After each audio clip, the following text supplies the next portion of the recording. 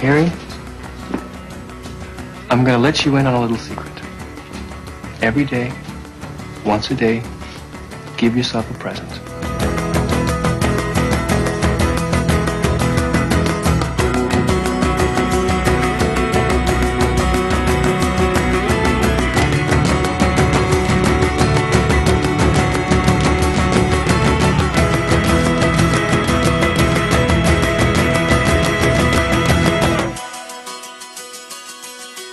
thank you